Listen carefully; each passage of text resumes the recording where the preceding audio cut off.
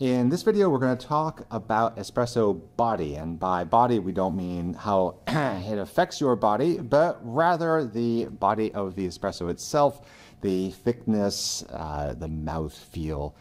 And it's a complicated thing because it isn't just how much stuff is in there making it thick. It's also crema and a viscosity and something else we don't really know. A little bit of je ne sais quoi sometimes. Yeah, right? people try to measure body and they find that it doesn't really translate directly. Like it would think a higher TDS, more stuff in the water would give you more body, and it does, but that isn't the whole story. So when we talk about body, we're actually talking about a subjective taste on the tongue, like it just feels thick. And the reason we're talking about body now is that in the original review by John Weiss of the Decent Espresso Machine, he mostly liked everything about it, except he felt that it wasn't very good at producing shots with a lot of body. It was much better at clear shots. And the, the general thinking being that clarity goes in this direction, body in this direction, and they're enemies, that you, you basically can't have body and clarity, and you can't have clarity and body. But this machine can do all sorts of things, all sorts of different flow rates and temperatures, and shouldn't we be able to do body? Shouldn't we be able to emulate body? And so in the past seven years, I'd say this has been the single biggest fixation among decent espresso owners is how do we get more body out of our espresso? And I would say it's specifically medium to dark roast people. Yeah, I would say so. And um, this was very in line with what I was trying to trial out. Like, could we get light roast with body? You know, I, And did it taste good?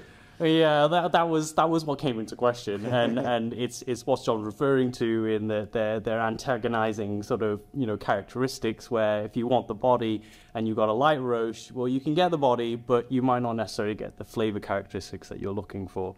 Um, while the flavor's in there, um, you just can't differentiate unless you start diluting, and then you know you're you're diluting the body, which is not the goal that we want to achieve.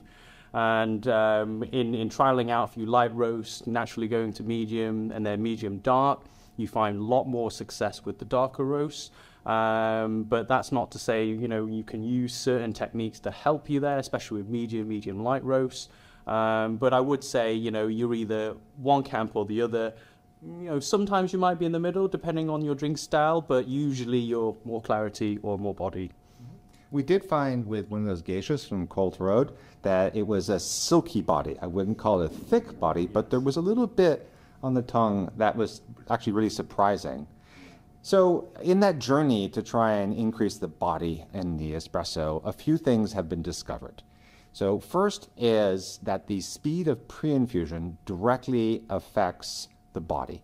Namely, when I had programmed all the original profiles in the Decent, I went with a slower pre-infusion of 4 milliliters per second. And the reason I did that is that it meant that I had less channeling. The, the puck wasn't hammered at the start with a lot of water, which was my experience with a traditional machine before the Decent. And a lot of my shots would end up terrible with that approach. Going to a 4 milliliters per second flow rate was about the flow rate that a puck could absorb of water, and it meant that gentle wetting meant a lot less channeling, and I also got much clearer shots. So that was the way that we, we went with that. What got discovered is if you amped up the flow rate, and initially the Decent was only limited to 6 mils per second um, initial flow rate, or 6 mils per second total flow rate, through a firmware update, we up that to 8, and you can creep up to like 8.8 mils per second, sometimes 9. And that really has a big impact on body. So slamming that puck hard seems to, um, I guess, make a puck that's denser. We don't really know exactly why. The espresso comes out sooner as well, but it's definitely thicker. So that was number one. And then number two, which turned out to be massive, was the headspace over the puck. And what I'm talking about here is I've got a portafilter with coffee in it, and I'm talking about when you lock it into your espresso machine, you've got what's called a shower screen. It's like a mesh, and it pushes down the puck, or there's a little bit of gap above it. If you have a gap, the puck is able to swell when it pre-infuses, and that swelling is a blooming or an even wetting, and it is really conducive to greater clarity and more even wetting and less channeling. And it's not just me, Socratic did those tests as well, and they found the same thing on a La Marzocco machine was a greater headspace was better for light roasts. However, it turns out that really clamping down on that really increases the body. And we think that's because when you put a shower screen on the espresso coffee puck and you give it water, that puck wants to swell and then it can't. And so it basically mashes across all sides and um, it fills any gaps. It becomes very homogeneous. It tends to channel less because you're just squeezing it. And then your shots are dramatically thicker. So I would say that was the biggest thing. And we didn't initially change the decent because um, people like Swarks um, and some others offered kits for the decent that you could buy, and they would put spacers in there, and you could choose just how extreme you wanted to, to decrease that. And if you went really extreme, you got super thick espressos. But at a loss of clarity. Yeah. And I think you've played with the spacer kits. Yeah, I have touched upon it a little bit, and um, it's really good if you find a coffee that works like really well with it without having to play around with your dose. Um, and it, it, it's quite convenient for you if you are sticking to a very benchmark recipe, and that's what I really like about it. Um, but you know, you have to be mindful when you're switching roasts and how that will affect that particular roast. And you know, some minute adjustments according to your dose will be needed. So while it is more convenient and you have a slightly more flexibility, you just have to be a lot more mindful on on that particular variable. Um, so yeah. Something to keep in mind with that headspace is that it's much harder to have less headspace than more. So if you don't have much headspace but you want more, you just switch to a larger basket. You go from 15 gram basket to 18 gram basket with the same amount of coffee and you'll just have headspace. And with that in mind, we have been gradually lowering our headspace. From 1.0 to 1.1 was the biggest change, where it was several millimeters that we reduced. And now in the latest version that's coming out, 1.4.4, we're now following the E61 standard, and we've dropped even a little bit more space off these. And again, that's because we're finding that if you want that body, then you can get that with reduced headspace. And if you want more clarity, you just use a larger basket. So it kind of gives you the best of both worlds. But wait, there's more. uh, lever machines really make very thick syrupy espressos, and, and they're kind of amazing.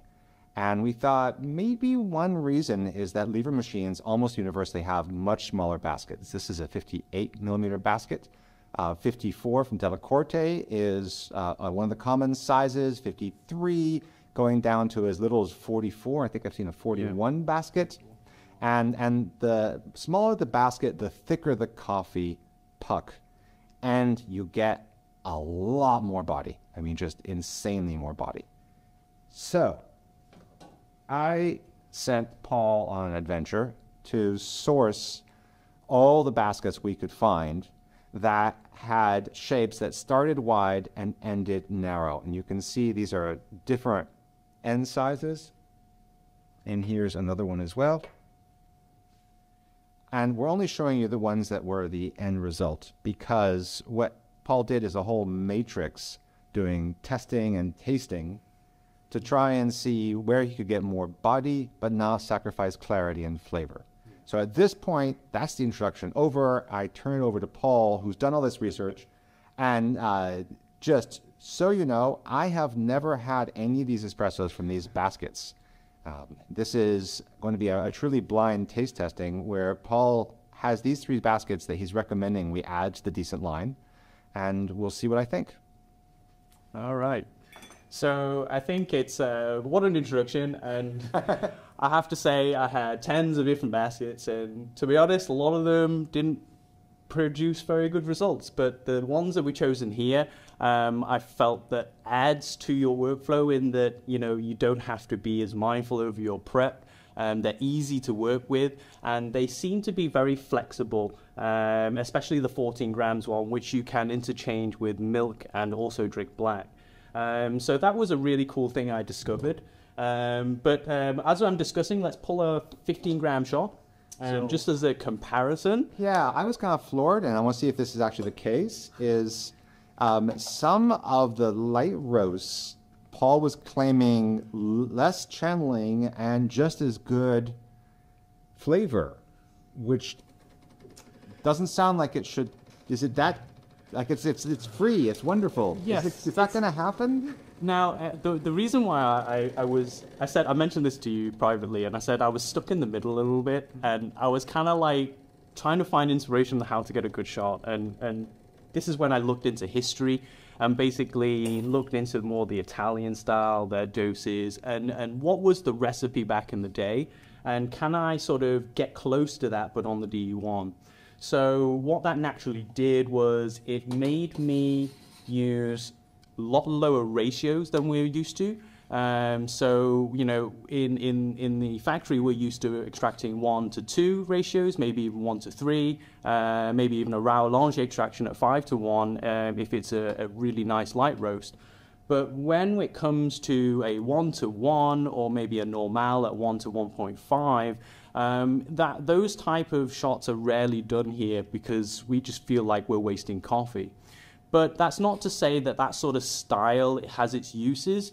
I found that during these experiments with these uh, smaller diameter at the bottom baskets, at uh, I believe it's at 53, um, but the hole area size is slightly smaller than that. I found much more success at the lower ratios.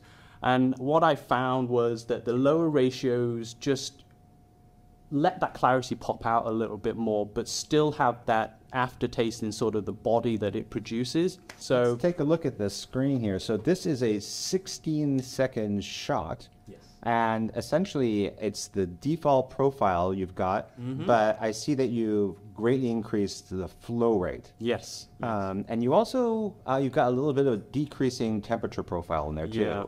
Um, so for the reason we're uh, using such small doses, um, in going below 12 grams in some of the baskets, I found that temperature had a significant impact due to the puck depth. And I think that the higher temperature uh, on a 15 gram basket, when I went down to a 12, for example, really affected the sort of harshness and, and almost produced an uncomfortable shot. So that was a good insight into you know the dose you have and how it affects temperature. Um, but the body was definitely um, significant in terms of comparing it to the 15 gram basket. So on this, I mean, there's no crema. Mm-hmm. So the crema is not fooling me, no. body. But it does have a kind of, it's got a lot of body to it. Yes. Um, so is this kind of a, a conservative basket? Like this is not an extreme one? Uh, I would say this is more of the clarity side, mm-hmm. um, and is is kind of because of the the 15 gram dose. I would say it's uh, intermediate in terms of puck prep. Like the the puck depth that you have or start with will give you a head start. So if it is deeper, it will be much less chance of channeling, and less will be required from your your actual prep itself. Um, but what we found with this one, with the 14 gram basket, due to its shape, um, the shape of the basket actually improves the puck integrity of the lower dose. So um, that doesn't matter so much with those type of baskets. Um, and that's what we've generally seen with these narrower tapered edges is that the increases puck integrity um, and with the shorter ratio you can still get that clarity to pop out. Okay, I mean flavor wise what I'm getting in this and hopefully we'll be able to compare it um, this for me is like a single origin dark chocolate. Mm. Okay, and I don't mean there's any burn notes. There aren't any burn notes in it, but a single origin has got a lot of tang to it. Yes. A single origin chocolate is what I'm talking about. So there is absolutely acidity. There's pretty bright fruit in it. Yes. Uh, there's very noticeable both middle and darker chocolates mm-hmm. in there, but it's really balanced. Yeah. There's not a lot to drink. yes, yes, that's very true. Um, it's just a few sips, and let's see, this was 14 in and 15 out. Yep. Okay, so it's a one-to-one shot is is what you've done. Part of what I had tasked Paul with is that our seven gram and 10 gram baskets, uh, they don't work very well.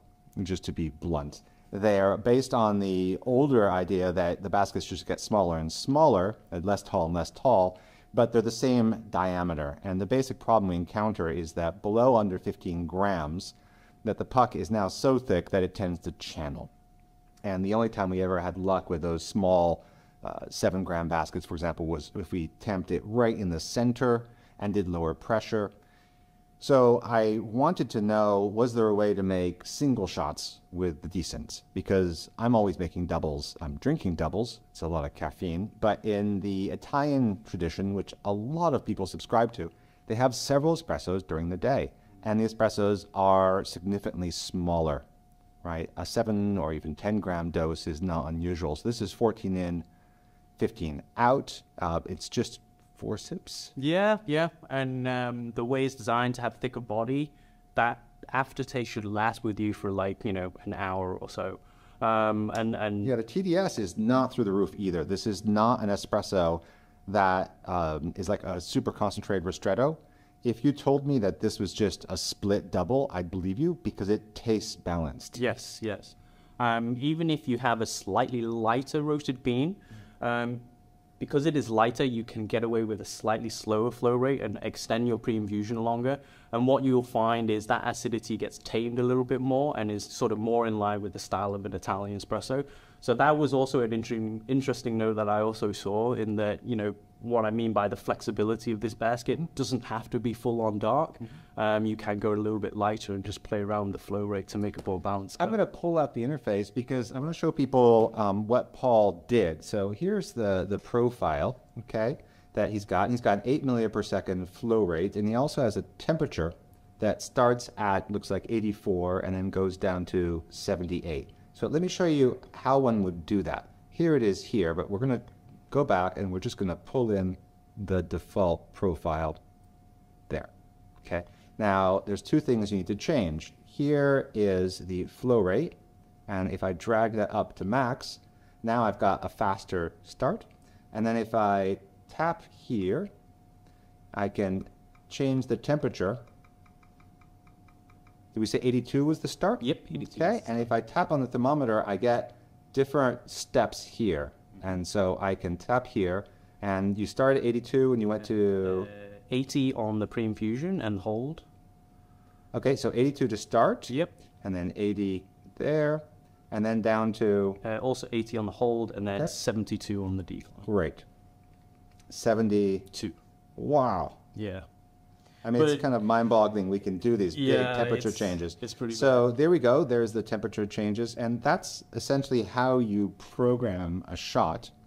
Um, if you are wondering what's this interface for, it seems kind of simplistic. In fact, on forums, you might have heard, "Oh, no one uses this interface before anymore. Everyone uses the advanced interface."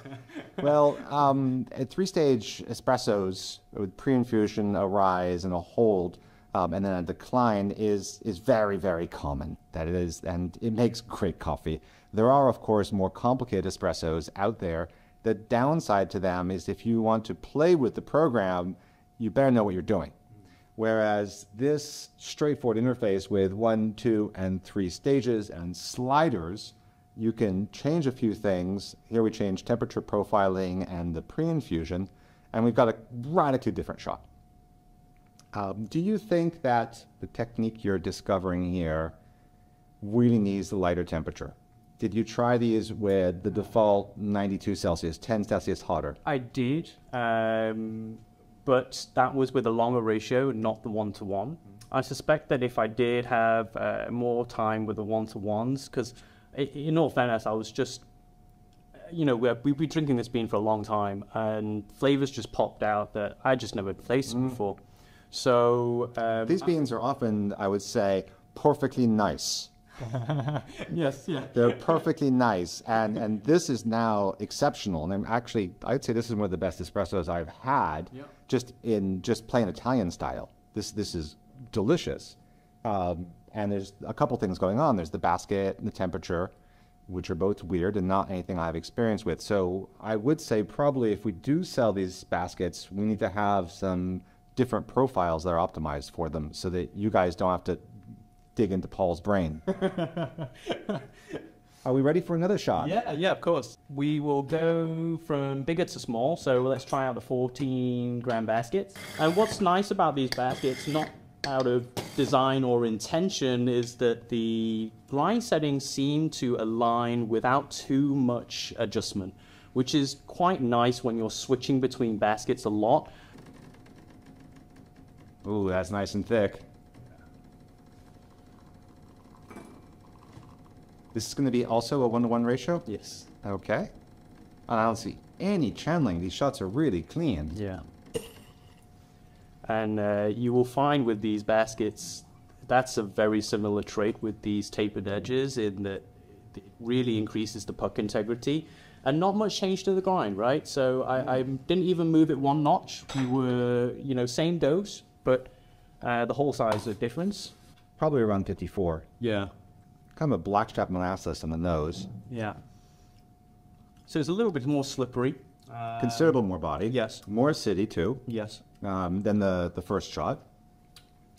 So where would what would you be aiming for for, for this? Why why would I use this basket? Um, this would be, um, I don't know if you noticed, the aroma for me anyway was um, bit more complex. Um, I could definitely tell that there is a, a little bit less clarity in this shot compared to the 15 gram from the smell. Much. Yeah. Um, but I do also get complexity in there, like sort of uh, skin of a berry. There's some sort of fruit in there, but I can't, I can't get out what it is. Yeah, I get kind of citruses. Yeah. Uh, a whole variety of both pith and skin and juice. Um, and um, I would say that the overall goal of this is not to compromise on the aroma compared to the 15 gram basket, but also, you know, we're, we're obviously trying to create a balanced cup.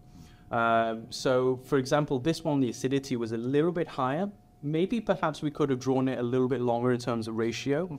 Um, but um, I think just from tasting that, I wouldn't be too disappointed if I got served that in a, in a shop. Um, I think the acidity is actually in line with a lot of places, um, but it's not offensive.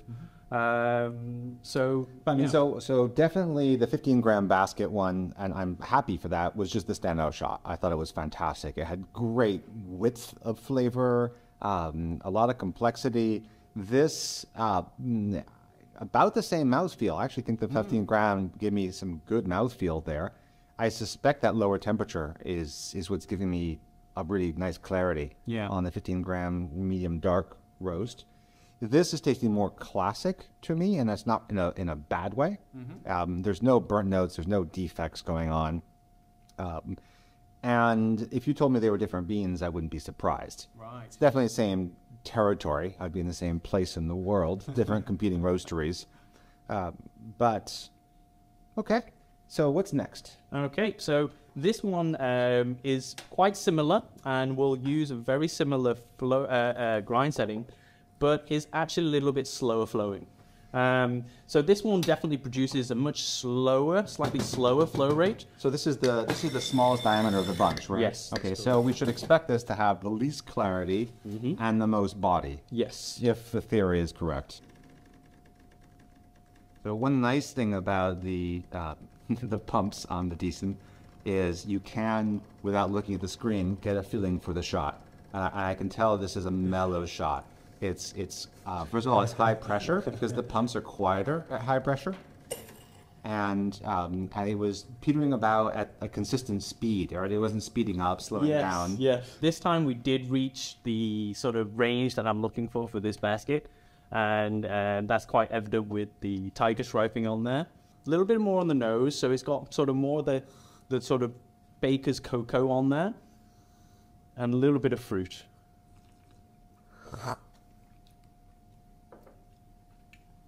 They're both really good. I'm not going to say that there's a world of difference between them. Between them.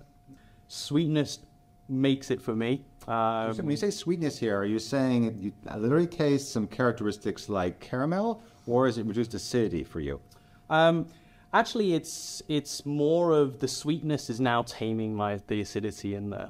So So there's not really any sugar in here. That's why. Yeah, yeah, yeah. So when you say sweetness, what do you mean here? Yeah, so um, the way I assess sweetness is not necessarily the flavor of sweetness that I'm tasting, but how it is reacting with the acidity and the feel in my mouth. And sweetness to me is kind of not quite like a reaction as if you put aluminium foil in there. That's a pretty sort of acidic, sort of more more acidic like reaction, but it's more sort of warming and it grows on your palate, um, and then the acidity dies away. So um, it's a little bit hard to explain, um, but is easier when you definitely have those caramelly sort of you know description notes, and people tag onto that and associate that feeling. Um, So the way I think about sweetness is a bit different. Um, I think of it as essentially fooling my brain. That when there's one flavor, there should be sugar. So in this case, I'm tasting kind of a medium caramel, not a light caramel, but a medium one, not a dark. And with a medium caramel, like say the sauce with sticky toffee pudding. Yeah, That's that's the world I'm in. And sticky toffee has a sauce that's quite sweet caramel. And that's exactly what I'm tasting here. So for me, it's like, oh, that's sweet because it has a flavor profile I associate with sweet things.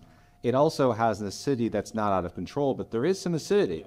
I don't think there's actually less acidity than before, uh, but this tastes sweeter to me because of the presence of that medium-bodied caramel. Right, I see. Yes. That's uh, me.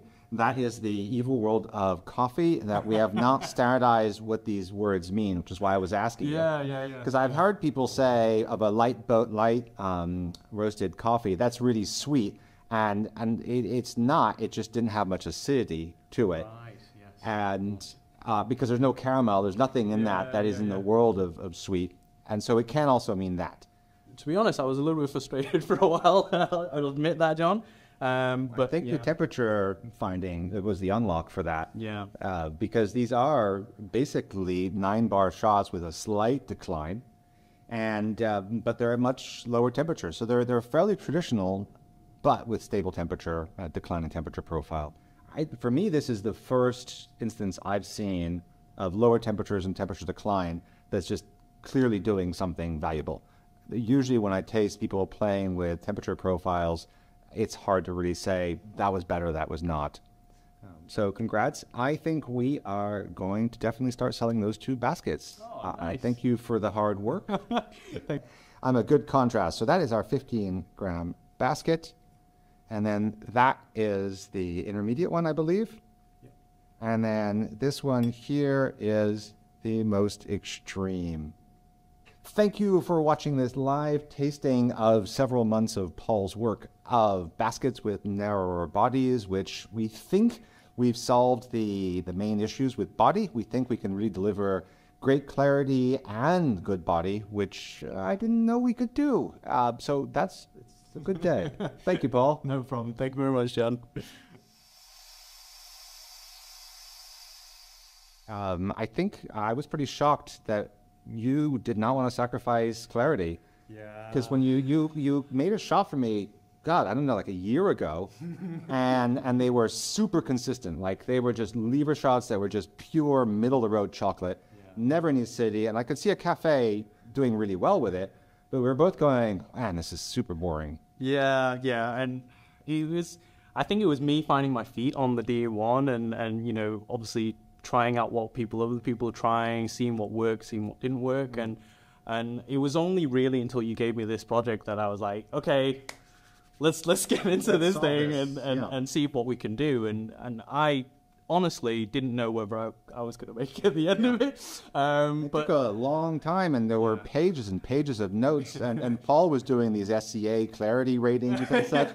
I was like, oh, okay, he's he's gone full into this. Yeah, you know, I was testing so many baskets, and I was like, I'm, I'm not going to remember all this, so I had to, you know, structure it in a way that, you know, I could project it as results to you and give you feedback at the same time, but also for me to understand what was going on. Um, but yeah, it's it's for me, I'm very flavor driven, and and obviously it's antagonistic characteristics, but you know, has anyone tried to get clarity and and you know find middle ground with body? Um, so you know, I took it on, and luckily it came out with something fairly fairly good. And So you did try some baskets. This is a question no one's asked yet, but I'm going to ask it. Um, you did try some baskets that had like tiny diameters yeah, for really small doses. Uh, and we're not trying any of those here. Uh, those were for really low doses, like seven or eight grams. So Yes. what was wrong with those? Why aren't we tasting that now? Um, because I just felt like it didn't improve on what was already around. And while it did solve the problem of over certain aspects over technique and recipe and you know temperature and all that other variables, it didn't really add anything on to me to really pursue that basket and really recommend it. Um, I think that there are, you know, you'd find much more success with, uh, you know, a 15 gram basket and lower dosing that, um, and possibly getting less channeling as compared to a, a smaller hole basket with such a low depth. Um, but you know, as I'm flavor driven, it was just you know it, it, didn't excite me as much, and they were generally quite low acidity. Um, and overall, it's just not the style I was looking for. So, um, so it didn't really add anything. I just thought didn't really improve anything on in the forms of technique. Mm um, and it wasn't really my style. So that's kind of why I didn't pursue along that route. So you just didn't want to compromise on the quality of the drink. Yeah. So we could go down to maybe a seven gram basket, but it'd be a boring espresso. Exactly. And we're not called boring espresso. we're close to it, but we're not boring yeah, espresso. Yeah. Um, and yeah, and what yeah, we've got this beautiful machine and all these things we can play around with. I just didn't want to produce something that was just kind of mm, not really improving on anything. So instead of doing, let's say, a 7 gram in, 14 out, mm. you're doing a 12.6 and 14 out, is that right? Uh, uh, yes, yes, 14 out, okay. 15 out. Yeah. And so the minimum dose essentially you're recommending to make outstanding espresso is 12.6 grams. Yeah. So that's how it is, folks. Um, can't make fantastic espresso lower than that, but it doesn't mean you have to drink 28 gram monsters. uh, you're at the out cup, uh, at 14 grams is the same as that Italian 7 in, 14 out, except that it tastes better.